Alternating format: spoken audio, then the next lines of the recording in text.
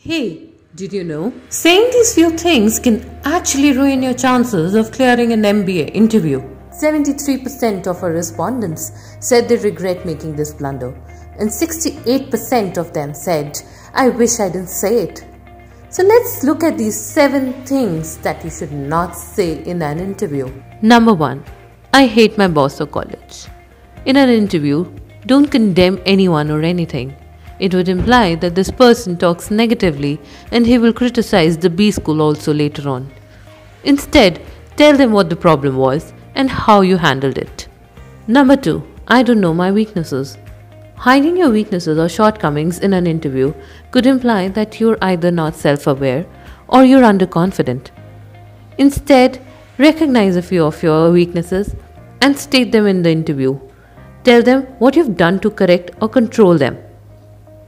Number 3. Too much jargon. Even if you're an expert at your subject, limit your use of technical jargon. It could show that either you have a superficial knowledge or you lack the depth of knowledge that is required. Instead, try to illustrate a topic in layman's language.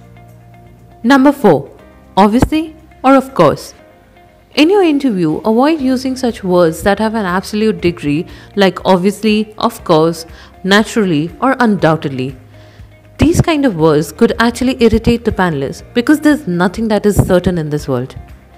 Instead, try to provide an opinion which is multidimensional in approach. Number 5. Judgmental opinions. You live in a world of social awakening, and passing judgmental remarks could put a very negative impression. You could show that you're very backward in your thought process. Instead, try to respect all genders, all religions, and all beliefs equally. Number 6. I don't have any questions.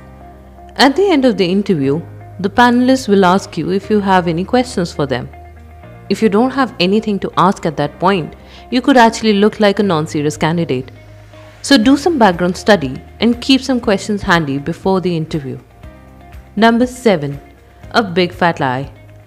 Whatever you do in an interview, please don't tell a lie. Interviewers are experienced and can easily tell the difference. So be honest and accept your shortcomings. If you want to learn more such tips and fundas, join the GD WAT and interview prep course by Hit Bullseye. Link in the description box. If you like this video by Hit Bullseye, please do share and comment and please do subscribe to our channel.